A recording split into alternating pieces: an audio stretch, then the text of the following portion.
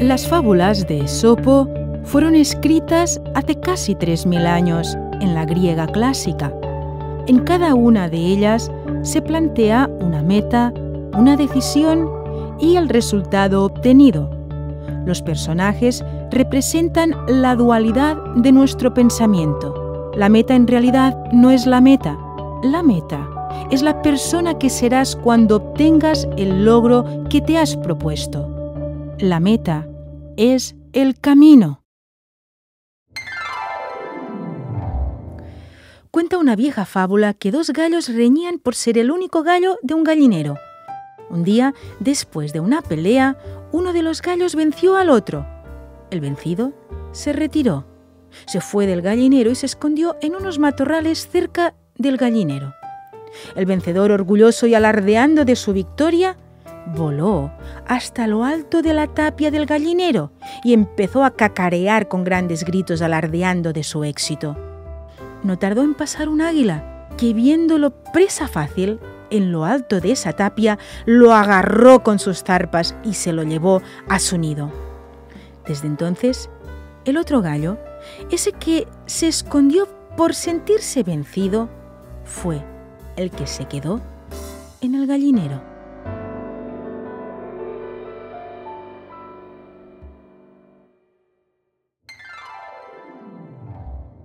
Había una vez una zorra que nunca había visto un león. Un día el destino quiso que la fiera se pusiera delante de ella, y como era la primera vez que la veía, sintió un gran miedo y corrió tan rápido como pudo para alejarse de la fiera. Otro día se encontró al león por segunda vez y aún sintió miedo, pero menos que antes, y lo observó con calma por un rato. Al verlo por tercera vez, se envalentonó lo suficiente hasta llegar a acercarse a él para entablar conversación con la distancia y la prudencia adecuada para hacerlo.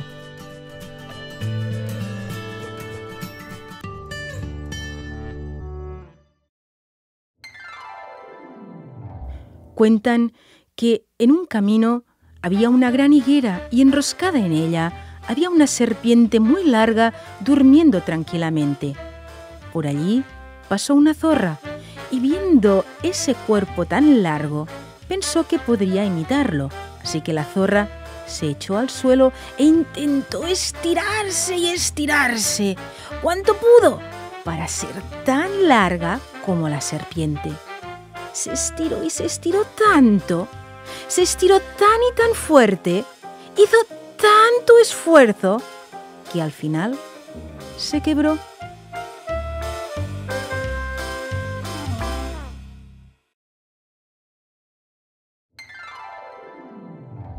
Cuentan que una zorra muy hambrienta paseaba un día por un huerto lleno de parras vio esos maravillosos racimos de uvas tostadas brillando al sol de verano y quiso atraparlos con su boca. Saltó y saltó, pero no pudo alcanzarlos y se marchó frustrada y enfadada del huerto, diciéndose a sí misma, Bah, esos racimos de uvas no me gustan para nada y además están verdes.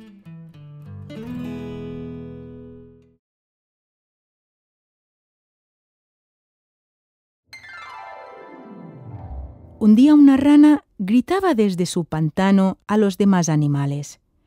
Soy médico y conozco muy bien todos los remedios para todos los males. Una zorra la oyó y le exclamó, ¿Cómo te atreves a anunciar que vas a ayudar a los demás cuando tú misma cojeas y no te sabes curar?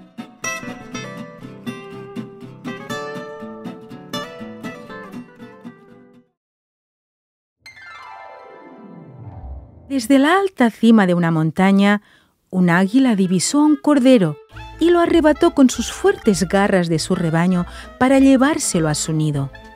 Un cuervo vio al águila y quiso hacer lo mismo.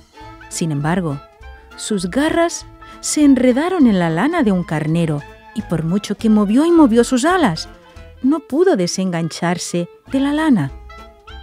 El pastor que cuidaba el rebaño cogió al cuervo lo desenredó de la lana y le cortó la punta de sus alas. Más tarde se lo llevó a sus niños y estos le preguntaron intrigados, Papá, ¿qué animal es este? Para mí es un cuervo, pero él se cree un águila.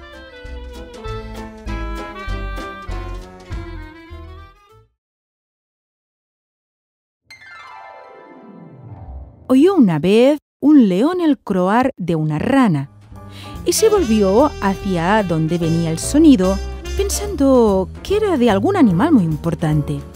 Esperó y observó con atención un rato.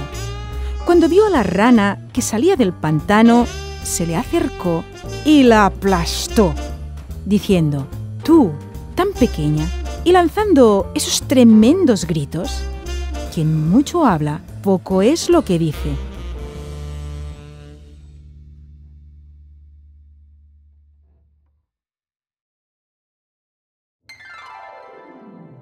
Entró un día una zorra en la casa de un actor y después de revisar sus utensilios, encontró, entre muchas otras cosas, una máscara artísticamente trabajada.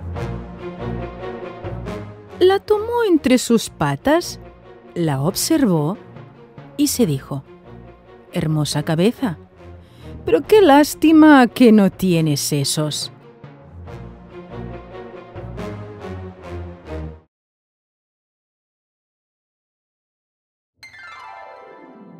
Había una vez un cangrejo de mar que estaba un poco cansado de su vida en el mar. Un día decidió que quería cambiar y salió del fondo del mar para irse a vivir a la playa. Sin embargo, solo cambió a medias, pues quiso mantener la misma vida solitaria que llevaba en el agua fuera de ella. Lo vio una zorra hambrienta, y como no pudo encontrar nada mejor que comer, corrió hacia el cangrejo y lo capturó. Cuando el cangrejo estaba listo para ser devorado por la hambrienta zorra, se dijo para sus adentros, Solo he cambiado de lugar, pero sigo haciendo lo mismo que hacía en el mar.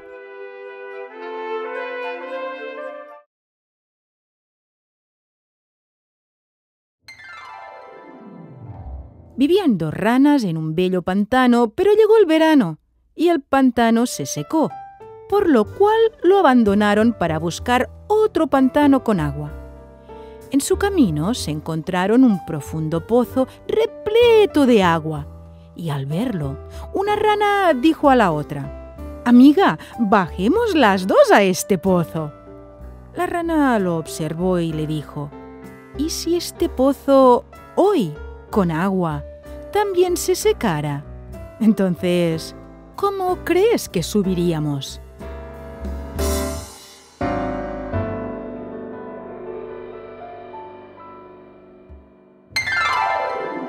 Recordemos que el fracaso no existe, solo los resultados, y con ellos aprendemos.